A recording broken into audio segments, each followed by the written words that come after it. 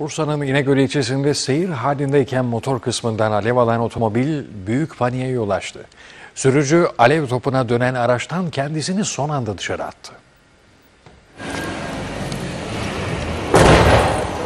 Bursa'da seyir halindeki otomobil alev alev yandı.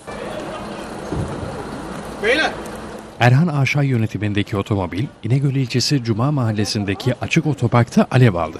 Motor kısmı yanmaya başlayan araç kısa sürede alev topuna döndü.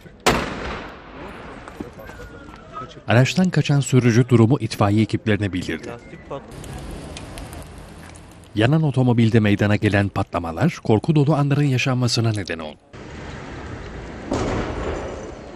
Bölgeye sevk edilen itfaiye ekipleri yangını çevredeki diğer araçlara sıçramadan kontrol altına aldı. Alev alev yanan otomobil ise kullanılamaz hale geldi.